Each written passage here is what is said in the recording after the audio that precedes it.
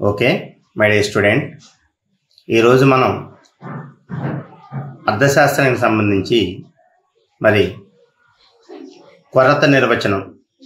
ఇంతకుముందు మనం అర్థశాస్త్రానికి ఇచ్చిన సంపద నిర్వచనం దాన్ని విమర్శిస్తూ మార్షల్ ఇచ్చిన శ్రేయస్సు నిర్వచనాన్ని అదేవిధంగా ఇప్పుడు మనం శ్రేయస్సు నిర్వచనాన్ని విమర్శిస్తూ దాంట్లో ఉన్న కొన్ని లోపాలను ఎత్తి చూపుతూ రాబిన్స్ కొరత నిర్వచనం ఇవ్వడం జరిగింది. ఈయన అర్థశాస్త్రం అనేది ప్రధానంగా సంపదకు సంబంధించింది కాదు. అదేవిధంగా మరి ఆడమ్ స్మిత్ సంపద సంబంధించిన శాస్త్రంగా చెప్పడం జరిగింది. మరి మార్షల్ శ్రేయస్సు మనిషి యొక్క శ్రేయస్సుకి మానవ శ్రేయస్సుకి మానవ సంక్షేమానికి సంబంధించిన శాస్త్రంగా చెప్పడం జరిగింది. ఇవన్నీ చర్చించేది అర్థశాస్త్రం అని వాళ్ళు వివరించడం జరిగింది.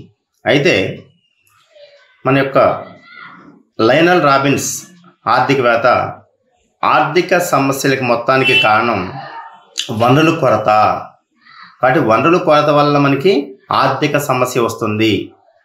వనరుల కొరతగా ఉండి అపరిమితమైన కోరికలు ఉండటం వల్ల మనకి మరి ఆర్థిక సమస్యలు వస్తున్నాయి అని చెప్పేసి ఆయన మరి కొరత నిర్వచనాన్ని అర్థశాస్త్రానికి ఇవ్వడం జరిగింది.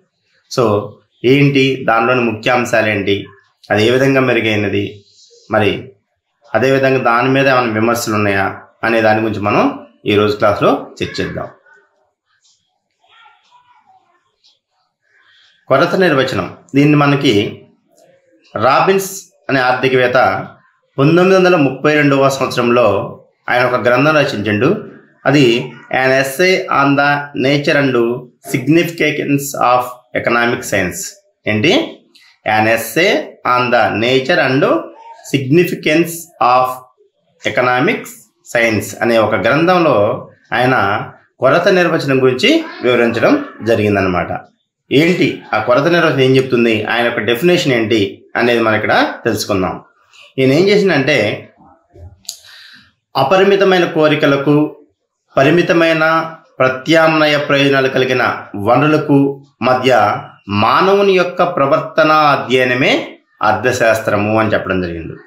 ఆడాన్ స్మిత్ చెప్పినట్టు సంపదకు సంబంధించింది కాదు. అదేవిధంగా మార్షల్ చెప్పినట్టు మనిషి యొక్క శ్రేయస్సు గురించి కాదు అర్థశాస్త్రం చర్చించేది. అర్థశాస్త్రం అనేది ప్రధానంగా పరిమిత వనరులకి అపరిమితమైన కోరికలకి మధ్య మానవుని యొక్క ప్రవర్తన ఎట్లుంటుంది అనే దాని గురించే మన అర్థశాస్త్రం పరిశీలిస్తుందని చెప్పేసి అయినా చెప్పడం జరిగింది. ఏంటి? అపరిమితమైన కోరికలు. మనం చెప్పుకున్నాం మొదటి క్లాస్లోనే. అసలు ఆర్థిక శాస్త్రం మనం ఎందుకు చదవాల్సి వస్తుంది? అర్థశాస్త్రాన్ని అంటే మానవునికి అపరిమితమైన కోరికలు ఉన్నాయి. ఆ కోరికలను తీర్చుకోవడానికి మరి వస్తు సేవలు కావాలి. మరి ఆ వస్తు సేవలు పొందాలంటే వ్యక్తులకి ద్రవ్యం కావాలి. మరి ఆ ద్రవ్యం కావాలంటే ఏదో ఒక ఆర్థిక కార్యకలాపాల్లో వ్యక్తి పాల్గొనాలి. ఆర్థిక కార్యకలాపాలు ప్రయత్నం చేసి ఆ ద్రవ్యంతో వస్తు సేవలు కొనుక్కొని తన కోరికలు సంతృప్తి పరుచుకుంటాడు. ఇదే మనం చెప్పుకున్న కోరికలు ప్రయత్నాలు తృప్తి. అంటే కోరికలు ఉంటాయి దానికోసం ప్రయత్నం చేస్తాడు తృప్తి పడతాడు. కానీ ఈ కోరికలు అనేవి ఎట్లని అపరిమితంగా ఉన్నాయి. అదే కనుక కోరికలు అనేది లేకపోతే మన అర్థశాస్త్రం చర్చించాల్సిన అవసరం లేదు ఆర్థిక సమస్యలు అనేవి ఉండవు. కాబట్టి ఈయన చెప్పిన డెఫినేషన్ ఏంటంటే అపరిమితమైన కోరికలకు పరిమితమైన ప్రత్యామ్నాయ ప్రయోజనాలు కలిగిన వనరులకు మధ్య మానవుని యొక్క ప్రవర్తన అధ్యయనమే అర్థశాస్త్రము. ఏమంటండి ఇక్కడ? అంటే మనిషికి కోరికలేమో చాలా అపరిమితంగా ఉన్నాయి. మనం చెప్పలేం కదా? ఒక ఐదు కోరికలు ఉన్నాయి పది ఉన్నాయి లేకపోతే కనుక ఒక వంద ఉన్నాయి రెండు వందలు చెప్పలేము మనం. కాబట్టి అపరిమితంగా ఉన్నాయి కోరికలు. కానీ మా కోరికలు తీర్చే సాధనాలు అంటే ఏంది? వస్తు సేవలు కావచ్చు. ఏదైనా ఒక వస్తువు మన కోరికను తీర్చడానికి కావాల్సిన వస్తు సేవలన్నీ కూడా. లేదా వనరులు కానీ. అవన్నీ ఎట్లున్నాయి? పరిమితంగా ఉన్నాయి. ఆర్థిక వ్యవస్థలో వనరులు మనకి అనంతంగా లేవు. అంటే కావాల్సిన మొత్తం లేవు. సో చాలా పరిమితంగా ఉన్నాయి. ఎగ్జాంపుల్ వనరులు చెప్పుకుందాం. భూమి చూసుకుందాం. అవి పరిమితంగానే ఉన్నాయి. వనరులు చెప్పుకోదలుచుకుంటే మన ప్రధానంగా శ్రామికులు అపరిమితంగా ఉంటారా? ఉండరు. పరిమితంగా. మూలధనం డబ్బులు అపరిమితంగా ఉంటుంది? పరిమితంగా. సో కాబట్టి వనరులనే పరిమితంగా ఉన్నాయి. మరియు ప్రత్యామ్నాయ ప్రయోజనాలు కలిగి ఉన్నాయి. ప్రత్యామ్నాయ ప్రయోజనాలు అంటే ఏంది? మనం చెప్పుకున్నాం గత క్లాస్లో. ప్రత్యామ్నాయ ప్రయోజనాలు అంటే ఒక వస్తువును ఒక ఉపయోగానికే కాకుండా అనేక రకాలుగా ఉపయోగించుకోవడానికి అవకాశం కలిగి ఉంటాన్ని ప్రత్యామ్నాయ ప్రయోజనం అంటాం మనం. అంటే ఏంది? ఇందా చెప్పినట్టు మనకి పరిమిత వనరులు అంటున్నాం. ఎగ్జాంపుల్ భూమి ఉంది. అని తీసుకున్నాం మనం. అది ఒక వనరు. ఉత్పత్తిలో ఒక వనరు అది భూమి అనేది. భూమికి భూమి అనేది పరిమితంగా ఉంది. ఒక దానికి లిమిటేషన్ ఉంది. అపరిమితమైన భూమి లేదు. మనకి కావాల్సినంత భూమి లేదు. సో పరిమితంగా ఉంటుంది. దానికి ప్రత్యామ్నాయ ప్రయోజనం ఉంటుంది ఆ భూమి మీద మనం రకరకాలుగా ఉపయోగించుకోవచ్చు దాన్ని. మనం గత క్లాస్ చెప్పుకున్న భూమిని పంటల ఉత్పత్తికి ఉపయోగించుకోవచ్చు. దాంట్లో ఒక బిల్డింగ్ని ఏర్పాటు చేసుకోవచ్చు. ఒక విద్యాలయాన్ని ఏర్పాటు చేసుకోవచ్చు. ఇవన్నీ చెప్పుకున్నాం మనం. సో అంటే ఒక వస్తువుకి అనేక రకాల ఉపయోగం ఉండటమనే ప్రత్యామ్నాయ ప్రయోజనం ఉంటున్నాం అదేవిధంగా మనం ఇందాక ఇంకొక ఎగ్జాంపుల్ చెప్పుకున్నాం గత క్లాస్లో మనిషి దగ్గర ఒక వంద వంద రూపాయలు ఉన్నాయి. ఆ వంద రూపాయలకి అపరిమితమైన కోరికలు ఉన్నాయి నాకు. అని చెప్పుకున్నాం మనం. ఆ వంద రూపాయలకి కూడా అన్ని కోరికలు తెచ్చే శక్తి ఉండదు. కానీ ఈ వంద రూపాయలతో మనం ఏదో ఒక కోరికలు తెచ్చుకోవచ్చు. ప్రత్యామ్నాయ ప్రయోజనం. ఫర్ ఎగ్జాంపుల్ ఇంటి దగ్గర నుంచి నేను వంద రూపాయలు తీసుకున్నా. దేనికోసం? ఒక బుక్ కొనుక్కోవాలని తీసుకున్నాను నేను. వంద రూపాయలు తీసుకున్నా. ఇంటి దగ్గర నుంచి పేరెంట్స్ దగ్గర నుంచి. నాకేమున్నాయి? కోరికలు చాలా ఉన్నాయి. ఈ వంద రూపాయలతో ఒక మూవీ చూడాలనే కోరిక ఉంది. మంచిగా? అదేవిధంగా ఈ వంద రూపాయలతో మంచి బిర్యానీ తినాలనే కోరిక ఉంది. అదేవిధంగా వంద రూపాయలతో మరి టెస్ట్ బుక్ కొనుక్కోవాలనే కోరిక ఉంది. అదేవిధంగా వంద రూపాయలతో మంచి షర్ట్ ఏదో మార్కెట్లో ఒక టీ షర్ట్ వచ్చింది కొనుక్కుందామని ఉంది నాకు. రకాలు ఉన్నాయి నాలుగు కోరికలు. కోరికలు ఎక్కువ ఉన్నాయి. డబ్బు ఎంత ఉంది? వంద రూపాయలు ఉంది. ఒక్కోటి వంద రూపాయలు అనుకుంది ఆ నాలుగు కోరికలకు సంబంధించి. మరి నాలుగు వస్తాయా మనకి? రావు. అంటే ఏంది? ఈ వంద రూపాయలు మనం బుక్ కను కొనుక్కున్నాం. మరి ఈ వంద రూపాయలు బుక్ కొనడానికి ఉపయోగపడిద్దా? ఈ వంద రూపాయలకి ప్రత్యామ్నాయ ప్రయోజనం ఉంది. అంటే ఈ వంద రూపాయలకి ఒక బుక్ అయినా కొనుక్కోవచ్చు ఒక టీ షర్ట్ అయినా కొనుక్కోవచ్చు లేదా బిర్యానీ అయినా తినవచ్చు మనం. అంటే ఇది రకరకాల ఈ వంద రూపాయలకి అనేక రకాల ప్రయోజనం ఉన్నాయి. ప్రత్యామ్నాయ ప్రయోజనం అంటే అదనమాట. ఒక వస్తువుకి అనేక రకాల ప్రయోజనాలు కలిగి ఉండటము. అట్లా మన అర్థశాస్త్రంలో అపరిమితమైన కోరికలు ఉన్నాయి. మరియు ఆ అపరిమిత కోరికలకి సంబంధించి పరిమితమైన ప్రత్యామ్నాయ ప్రయోజనాలు కలిగిన వనరులు ఉన్నాయి ఈ రెండిటి యొక్క మధ్య మానవుని యొక్క ప్రవర్తన ఎట్లుంటుంది? అంటే ఈ వనరులతో అపరిమితమైన కోరికల్లో ఏ కోరికను తీర్చుకోవడానికి అతను సిద్ధంగా ఉన్నాడు? వాడి యొక్క ప్రవర్తన ఎట్లుంది? మన యొక్క ఏ కోరికల వైపు ప్ర ఆయన యొక్క ప్రవర్తన ఉంది అని అధ్యయనం చేసేది అర్థశాస్త్రము. అందుకే మన అర్థశాస్త్రం చదువుతున్నాం అని చెప్పేసి నా రాబిన్ చెప్పడం జరిగింది. అపరిమితమైన కోరికలు ఉన్నాయి కాబట్టి పరిమిత వనరులు ఉన్నాయి కాబట్టి ఈ రెండింటి యొక్క మధ్య మానవుని యొక్క ప్రవర్తన ఎట్లుంటది? అది మనం చదువుతాం అనేది ఇక్కడ రాబిన్ చెప్పడం జరిగింది. వాస్తవంగా ఈ యొక్క నిర్వచనంలో మనకి కొన్ని ముఖ్య లక్షణాలు కనిపిస్తున్నాయి. ఏంటది? నెంబర్ వన్ ఆయన చెప్పింది మానవుని కోరికలు అపరిమితము. ఒక కోరిక తీరిన వెంటనే అనేక కొత్త కోరికలు పుడతాయి. ఈ విధంగా కోరికలు అపరిమితంగా ఉంటాయి. అందువల్ల అత్యవసరమైన కోరికలు మాత్రమే మనం తీర్చుకోవాల్సి ఉంటుంది. ఆయన డెఫినేషన్లో ఫస్ట్ పాయింట్ ఏమపడుతుంది మానవుని కోరికలు అపరిమితాలు. అవును కదా మనం చెప్పుకున్న ఇప్పుడు దాకా. కొన్ని ఒక కోరిక ఉంటుందా మనకి? ఒక పది కోరికలు ఉంటాయా? లేకపోతే ఒక పది లీటర్లు ఉంటుందా? అనేది మనం చెప్పలేము. అపరిమితంగా ఉంటాయి కోరికలు. అపరిమితంగా ఉండటంతో పాటు ఇంకేముంటుంది? ఒక కోరిక తీరిన వెంటనే మళ్ళీ అనేక కొత్త కోరికలు పడతాయి. అవునా కదా? మనం ఏం చేస్తాం? ఒక వంద రూపాయలు తీసుకుని మార్కెట్లో పోతుంటే మంచిగా ఒక టీ షర్ట్ కనిపెడింది అనుకోండి. అప్పుడు ఆ టీ షర్ట్ కొన్నాం కోరికని తీర్చుకున్నాం మనం. ఆ కోరికనే వంద రూపాయలు పెట్టి ఆ టీ షర్ట్ని కొన్నాం. మళ్ళీ ఏమైతుంది? మళ్ళీ ముందులకు పోగానే ఇంకొక రకమైన వస్తువు కనపడద్దు. అబ్బా అది కూడా కొంటే బాగుండే అనిపిస్తుంది మనకి. లేదా ఇంకొక మార్కెట్లో ఇంకొక కొత్త రకమైన వస్తువు కనిపిస్తుంది. దాన్ని కొనాలనిపిస్తుంది. అంటే కోరిక అనేది ఎప్పుడు ఏంటుంటుంది? ఆగదు. ఒక కోరిక తీరిన వెంటనే అనేక కొత్త కోరికలు వస్తాయి. ఎగ్జాంపుల్ ఒక స్టూడెంట్ ఉన్నాడు. ముందర ఏమంటే సైకిల్ లేనప్పుడు ఒక సైకిల్ కొనుక్కుందాం అనుకుంటాడు సైకిల్ కొనుక్కున్న తర్వాత అటు ఇటు పోయేటప్పుడు బండ్లు పోయేటప్పుడు అబ్బా సైకిల్ కంటే బండి బాగుంటుంది కదా. ఒక బండి మొబైల్ ఒక మో మనకి ఒక హీరో హోండానో లేదా ఒక బైక్ కొనుక్కుంటే అట్లుంటుంది అనుకుంటాడు. అంటే ఇది మళ్ళీ ఇంకో కొత్త కోరిక. ఆ కోరిక తీరింది. సైకిల్ కొనుక్కోవాలని కోరిక తీరింది. మళ్ళీ ఏం చేస్తాడు? మళ్ళీ అబ్బా నాకు బైక్ ఉంటే బాగుండు అంటాడు. బైక్ వచ్చిన తర్వాత అబ్బా ఇంక వేరే స్పోర్ట్స్ బైక్ అంటాడు. ఇట్లా అంటే కోరికలు అనేవి పుడుతూనే ఉంటాయి అనేక కొత్త కోరికలు వస్తూనే ఉంటాయి. కాబట్టి మనం ఏం చేస్తున్నాం? మన దగ్గర ఈ అపరిమితమైన కోరికల్లో మనం ఏం చేస్తున్నాం? ఏదైతే అత్యవసరమో దాన్నే తీర్చుకోవాల్సి ఉంటుంది అనేది ఈ నిర్వచనం ముఖ్యాంశము. ఇందాక మనం చెప్పుకున్న ఎగ్జాంపుల్లో వంద రూపాయలు ఉన్నాయి. ఒక బుక్ కొనుక్కోవాలనే కోరిక ఒక బిర్యానీ తినాలనే కోరిక. అదేవిధంగా మనం మరి ఒక టీ షర్ట్ కొన కొనుక్కోవాలనే కోరిక. ఇట్లా రకరకాలు ఉన్నాయి. అందులో మనకి ఏది ఇంపార్టెంటు అంటే ఏది అత్యవసరము? కాబట్టి అత్యవసరమైన కోరికలు మాత్రం తీర్చుకోవాల్సి ఉంటుంది అనేది ఈ నిర్వచనం ముఖ్యాంశము మానవుని యొక్క ప్రవర్తన ఎట్లుంటది? ఎట్లుంటది ప్రవర్తన? ఏది అత్యవసరమో ఆ కోరికను తీర్చుకుంటాడు. కాబట్టి ఆయన నిర్వచనం మన ముఖ్య లక్షణం ఒకటి ఏం కనిపిస్తుందంటే మానవుని కోరికలు అపరిమితంగా ఉంటాయి. ఒక కోరిక తీరిన వెంటనే ఆగిపోదు అక్కడ. మళ్ళీ అనేక కొత్త కోరికలు పుడుతుంటాయి. ఆ వల్ల దానివల్ల మనం ఏది అత్యవసరం ఆ కోరికను తీర్చుకోవాల్సిన అవసరం ఉంటుంది అనేది ఒక ముఖ్య పాయింట్. ఈయన యొక్క రాబిన్సన్ నిర్వచనం మనకి కనిపిస్తుంది. ఇంకా రెండో అంశం చూస్తే ఆ నిర్వచనంలో వనరులు ఎట్లున్నాయంలో పరిమితంగా ఉన్నాయి. అంటే వనరులు ఎట్లున్నాయి? పరిమితంగా ఉన్నాయి. అంతే కదా? అంటే కోరికలు అపరిమితంగా ఉన్నాయి. ఈ కోరికలు తీర్చుకునే వనరులు మాత్రం కొరతగా లేదా పరిమితంగా ఉన్నాయి. కొరతగా అంటే తక్కువ. అవకాశం ఉన్నంత మనకి అవసరం ఉన్నంత వరకు లేకపోవడం కొరతగా ఉంటాయి. పరిమితంగా అంటే కొద్దిగా ఉన్నాయి అన్నమాట. కాబట్టి వాస్తవంగా అంతే కదా వనరులు కొరతగా ఉన్నాయి. ఎగ్జాంపుల్ వనరులు అంటే మనం ఇంతకుముందు చెప్పుకున్న ఉత్పత్తి కారకాలు తీసుకుందాం. ఎగ్జాంపుల్ ఉత్పత్తి కారకాలే వనరులుగా చెప్పుకుంటే మనం. భూమి కానీ శ్రమ కానీ మూలధనం కానీ లేదా ఏదైనా వస్తువు రాశి కానీ ఇవన్నీ అపరిమితంగా ఉన్నాయా? లేవు. చాలా పరిమితంగా ఉంటాయి. కాబట్టి రెండో అంశం ఏంటంటే డెఫినేషన్లో మనం కోరికలు తీర్చుకోవాల్సి కావాల్సిన వనరులు కోరికలు తీర్చుకోవడానికి కావాల్సిన వనరులు చాలా పరిమితంగా ఉంటాయి లేదా కొరతగా ఉంటాయి అనేది రెండో అంశంగా కనిపిస్తుంది మనకి. మూడేముంది?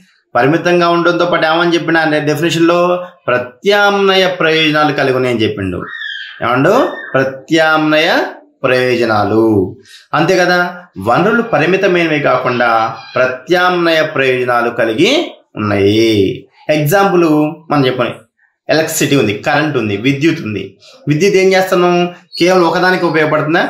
మన ఇళ్ళలో ఉపయోగించుకుంటున్నాం గృహ అవసరాలకి అదేవిధంగా పరిశ్రమలో వస్తు ఉత్పత్తికి కూడా పవర్ను ఉపయోగిస్తున్నాం మనం. అంటే పవర్కి రెండు రకాల ప్రయోజనాలు. ఇంకా అనేక రకాలు ఉన్నాయి. ఫర్ ఎగ్జాంపుల్ ఇక్కడ గృహాలకి పరిశ్రమలు ఉపయోగించుకుంటున్నాం. అంటే విద్యుత్ అనే ఒక వస్తువుని ఒక వస్తువుని మనం రకరకాలుగా ప్రత్యామ్నాయ ప్రయోజనాలకు ఉపయోగించుకుంటున్నాం.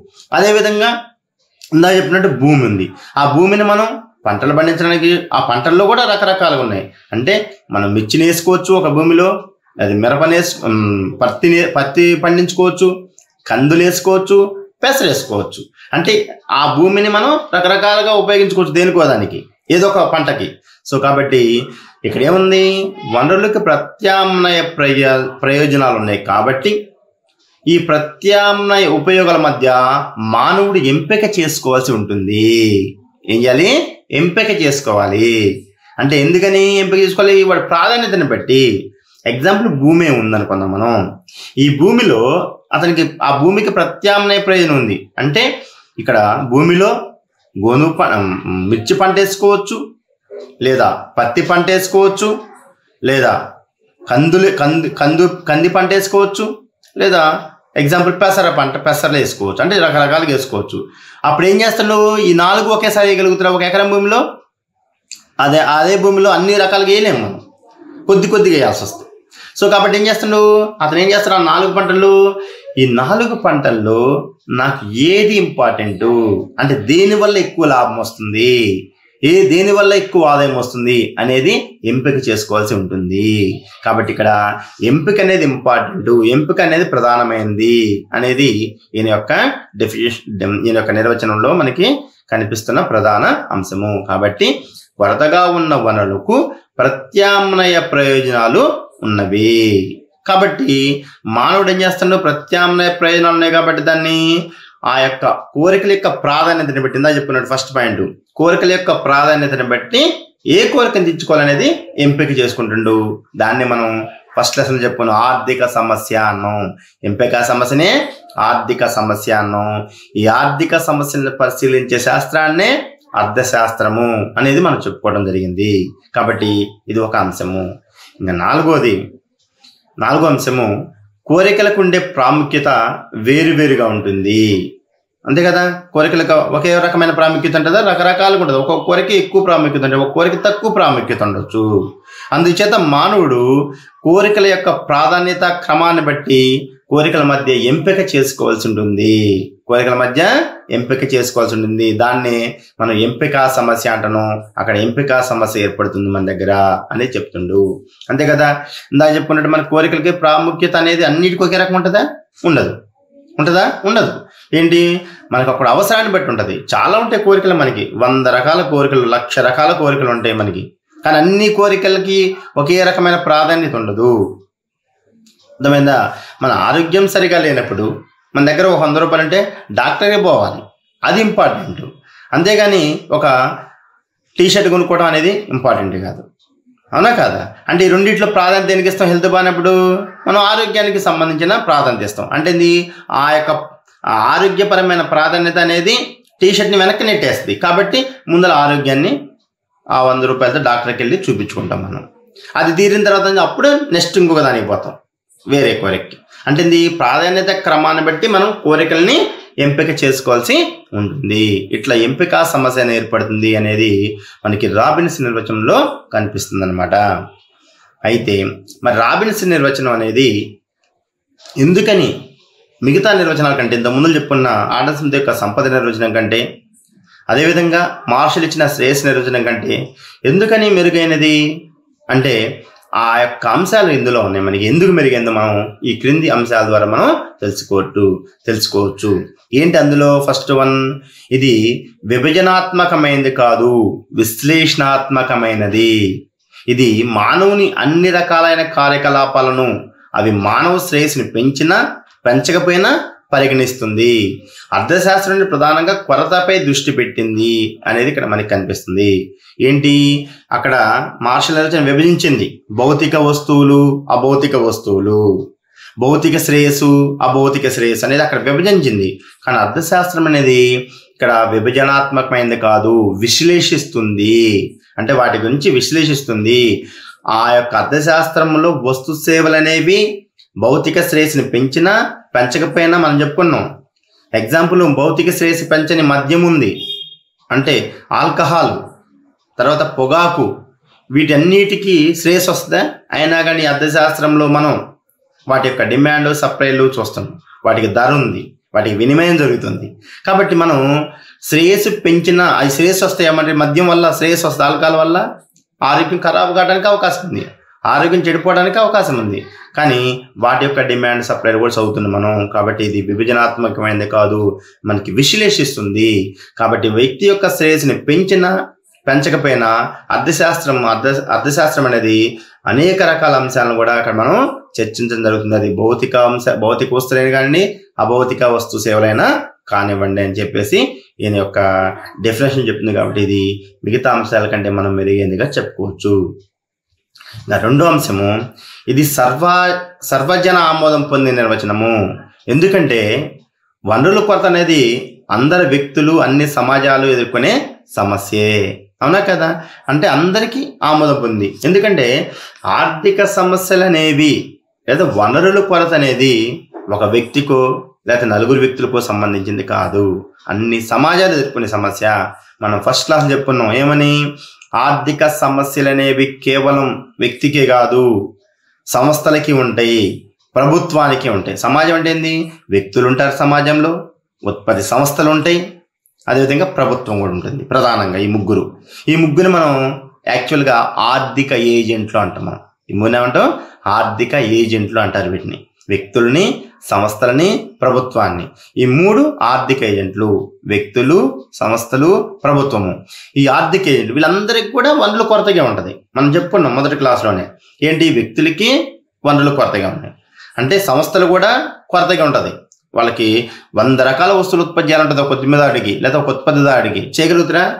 వనరులు లేవు కదా వాడి దగ్గర. మూలధనం కావాలి భూమి కావాలి శ్రామికులు కావాలి. అదే ప్రభుత్వానికి కూడా అంతే. ఏంటి ప్రభుత్వం కూడా వనరుల కొరత ఎదుర్కొంటుంది. ప్రభుత్వానికి బొగేమాలి మన దేశాన్ని మొత్తాన్ని మనం అసలు నిరుద్యోగము పేదరికము అసమానత లేకుండా వా నీటిపారుదల సౌకర్యాలు కల్పించి చేద్దాం అనుకుంటుంది. మరి డబ్బులు ఉన్నాయా సరిపోను. వాటికి సంవత్సరానికి ఎంత ఆదాయం వస్తుంది చూసుకోవాలి కదా. అంటే అంత ఆదాయం వస్తుందా? వాటన్నిటిని కాబట్టి ఏం చేస్తుంది? వనరులు అంటే ప్రాధాన్యతను బట్టి వాటిని యొక్క ఉమ్, సమస్యల్ని పరిష్కరిస్తుంది. కాబట్టి ఇక్కడ సర్వజన ఆమోదం పొందింది. ఎందుకంటే ఈ అంశాలు అనేవి అంటే వనరుల కొరత అనేది ఒక వ్యక్తికో కాదు అది ఒక సంస్థకో కాదు ఒక ప్రభుత్వాన్ని అందరు సమాజంలో ఎదుర్కొనే ప్రతి సమస్య అందరి సమస్య ఇది. కాబట్టి ఇది అందరూ కూడా దీన్ని ఆమోదించడం అనేది ప్రధానంగా జరిగింది. ఇంకా మూడో అంశము రాబిన్స్ నిర్వచనం అనేది లక్ష్యాల మధ్య తటస్థంగా ఉంటుంది అని చెప్తుంది. ఏంటి?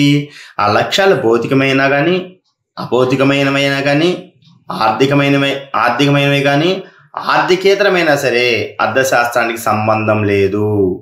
ఎట్లుండాలి? ఈ ఇటుపో నువ్వు ఈ లక్ష్యం వైపు మంచిగుంటుంది. మంచిగా ఉంటుంది లేకపోతే ఈ లక్ష్యం వైపు మంచిగుండదు. మంచిగా ఉండదు అని చెప్తుందా? చెప్పదు. అది డబ్బులు వచ్చేది డబ్బు ఇవన్నీ చెప్పదు. అర్థశాస్త్రం అనేది ఏంది? చాలా లక్ష్యాలు ఉంటాయి సో ఆ లక్ష్యాల్లో నువ్వు తటస్థంగా ఉండు. మంచి చెడులకు మన సంబంధం లేదు. ఇది మంచి ఇది చెడు అని చెప్పొద్దు. నువ్వు తటస్థంగా ఉండని అని చెప్తుంది అర్థశాస్త్రము.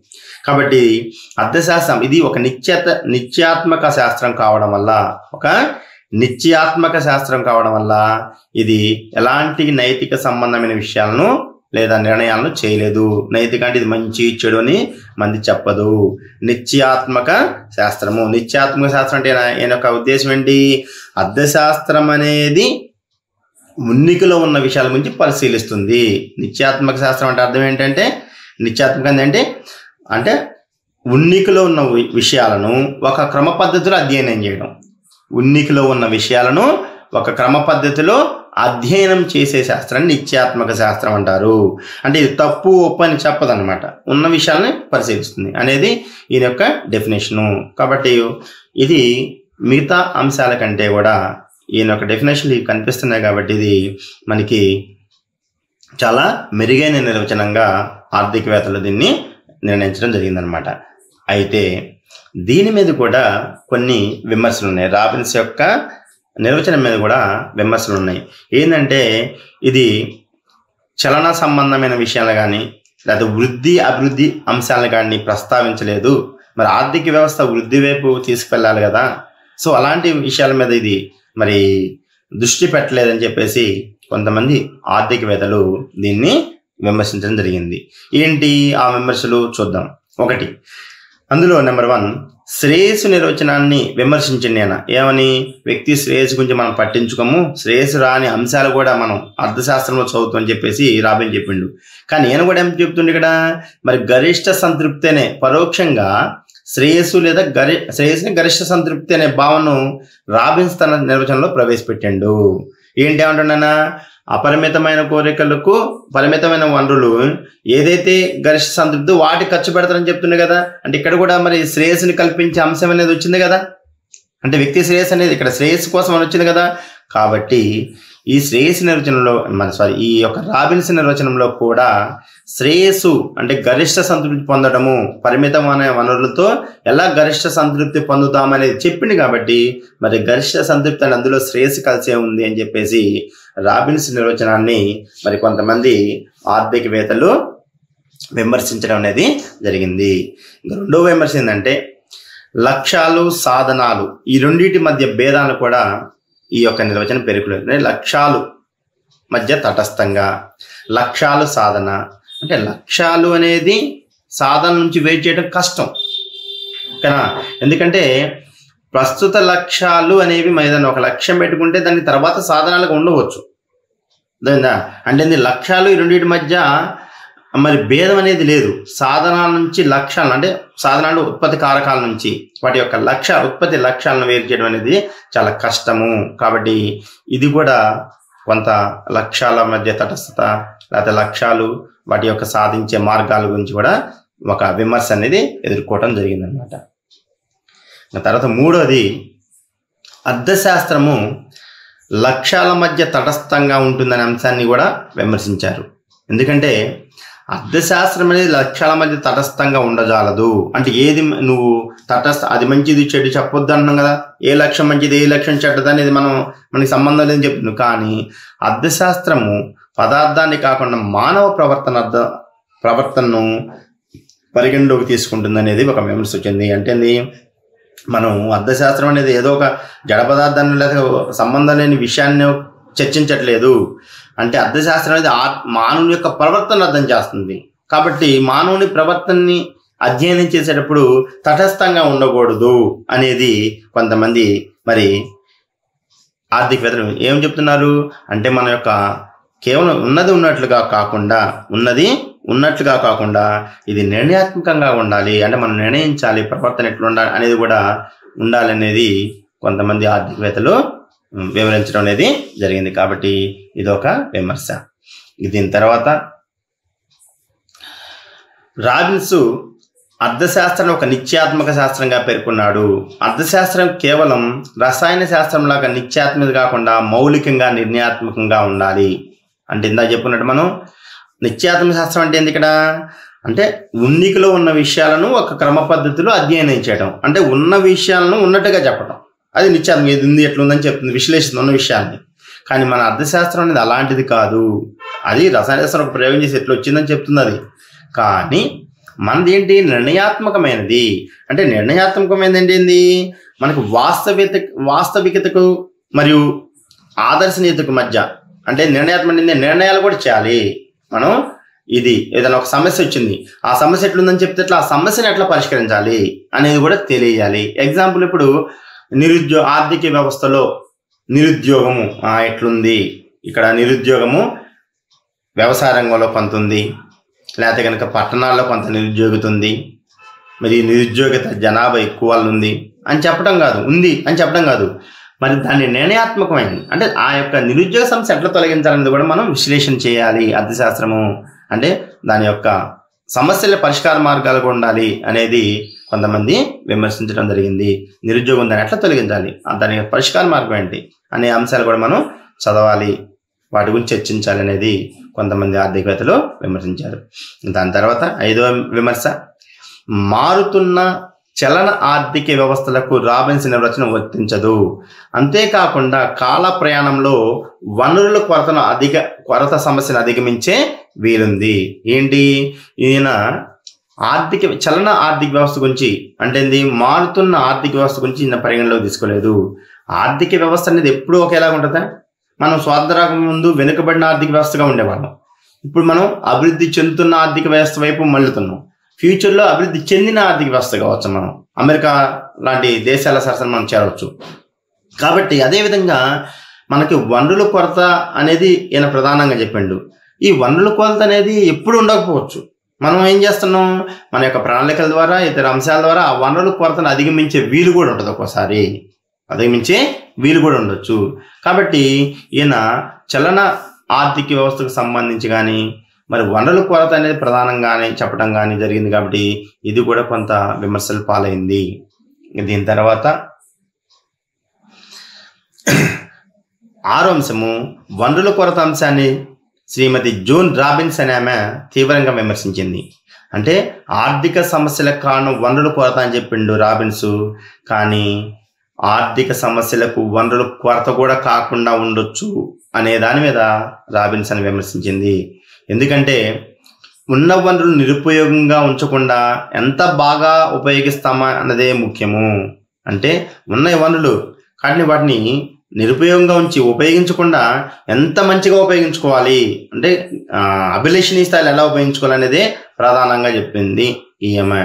కాబట్టి ఇక్కడ మనకి ఎగ్జాంపుల్ వ- మనకి ఆర్థిక వ్యవస్థలో నిరుద్యోగత కారణం వనరుల కొరత కాదు వనరుల సమృద్ధి కూడా దీనికి కారణం అని చెప్పేసి విమర్శించింది. అంటే ఎగ్జాంపుల్ చెప్పుకోవాలంటే మనం ఎగ్జాంపుల్ నైన్టీన్ థర్టీన్ ట్వంటీ నైన్లో పంతొమ్మిది వందల ఇరవై తొమ్మిదిలో ముప్పై మధ్యలో ఆర్థిక మాంద్య పరిస్థితులు వచ్చినాయి ఆర్థిక మాంద్య పరిస్థితులు వచ్చి అంటే ఆర్థిక మంది ఉత్పత్తి మొత్తం కూడా స్తబ్దత ఏర్పడింది. అంటే ఉత్పత్తి సంస్థలు బాగా ఉత్పత్తి చేసినాయి. కానీ ప్రజల దగ్గర కొనుగోలు శక్తి లేదు. ప్రజల దగ్గర కొనుగోలు శక్తి లేనప్పుడు వస్తు ఉత్పత్తి అంతా కూడా ఏంది? ఉత్పత్తి సంస్థల నుంచి మార్కెట్కి వచ్చింది. ఆ మార్కెట్లో డిమాండ్ లేక వస్తు ఉత్పత్తి మొత్తం కూడా నిలిచిపోయింది. వస్తు ఉత్పత్తి మొత్తం నిలిచిపోయింది. వస్తు ఉత్పత్తికి డిమాండ్ లేనప్పుడు ఉత్పత్తి సంస్థలు కొత్త వస్తువును ఉత్పత్తి చేస్తాయా? చేయవు చేయనప్పుడు ఉత్పత్తి జరిగినప్పుడు అందులో ఉన్న కార్మికులు శ్రామికులు ఉపాధి అవకాశాలు ఉంటాయా? ఉపాధి అవకాశాలు కోల్పోయారు. అంటే ఏంది? అక్కడ ఉపాధి అవకాశం నిరుద్యోగం ఏర్పడింది. మరి ఇప్పుడు అక్కడ నిరుద్యోగం ఏర్పడింది. మరి దేనివల్ల ఏర్పడిందా నిరుద్యోగం? వనరులు లేకపోవడం వల్ల ఏర్పడిందా? అంటే వనరుల కొరత వల్ల ఏర్పడిందా? నైన్టీన్ ట్వంటీ నైన్ థర్టీలో నిరుద్యోగ సమస్య ఎందుకు ఏర్పడింది? వనరుల కొరత వల్ల కాదు అత్యుత్పత్తి వల్ల. వనరు ఫుల్ ఉత్పత్తి ఉంది ఇక్కడ. మొత్తం నిలిచిపోయింది. ఆర్థిక వ్యవస్థలో. అంటే ఉత్పత్తి అమ్ముడు పోక వనరులు కూడా ఉత్పత్తి చేయడానికి వనరులు ఉన్నాయి కానీ నిరుద్యోగ సమస్య వచ్చింది మరి. కాబట్టి ఒక్కొక్కసారి వనరుల కొరత వల్లే సమస్యలు రావు. వాటిని సరిగా ఎంతవరకు ఉపయోగ బాగా ఉపయోగిస్తాం అనేది కూడా ముఖ్యం. కాబట్టి మనకి ఒక్కొక్కసారి వనరులు సమృద్ధిగా ఉండటం వల్ల కూడా ఆర్థిక సమస్యలు వచ్చే అవకాశం ఉంది. ఎగ్జాంపుల్ నైన్టీన్ ట్వంటీ నైన్ థర్టీలో నై పంతొమ్మిది వందల ఇరవై తొమ్మిది ముప్పైలో వచ్చిన ఆర్థిక మాంద్య పరిస్థితులు అని చెప్పేసి మా వివరించడం జరిగింది. కాబట్టి ఇది ఒక విమర్శ. కాబట్టి వనరులు కొరత అనేది కాదు ప్రధానంగా. ఒక్కోసారి వనరులు సమృద్ధిగా ఉండటం వల్ల కూడా ఆర్థిక సమస్యలు వచ్చే అవకాశం ఉందని చెప్పేసి రాబిన్సన్ విమర్శించడం జరిగింది. అదేవిధంగా లాస్ట్ విమర్శ మనకి రాబిన్స్ కొరత నిర్వచనం అతి ముఖ్య సమస్యలైన వృద్ధి స్థిరత్వాలను వృద్ధి స్థిరత్వాలను ఉపేక్షించింది. అంటే ఎట్లా వృద్ధి ఆర్థిక వ్యవస్థను ఎట్లా వృద్ధి చెందించాలి? మరి వృద్ధి స్థిరత్వాన్ని ఎట్లా సాధించాలనే అంశాలని ఇక్కడ ఈయన నిర్వచనంలో చెప్పలేదు. వాటి గురించి అలా ప్రస్తావించలేదు. కాబట్టి ఈ యొక్క అంశము ఈ యొక్క అంశాలు లేపడం వల్ల ఇది ఇంకా పూర్తిగా సంపూర్ణంగా లేదని చెప్పేసి దీన్ని కొంతమంది ఆర్థికవేత్తలు విమర్శించారు. కానీ ఏది ఏమైనప్పటికీ కూడా రాబిన్స్ యొక్క కొరత నిర్వచనము మరి అది చాలా సమాజంలో అంటే చాలా ఎక్కువ మందికి అది ఆమోదించే నిర్వచనంగా పరిగణించబడిందని చెప్పేసి మనం చెప్పుకోవచ్చు. సో ఇది మనకి ఈరోజు రాబిన్స్ కొరత నిర్వచనం దానిలోని ముఖ్యాంశాలు దాని యొక్క ఆధిక్యత దాని విమర్శను మనం తెలుసుకోవడం జరిగింది.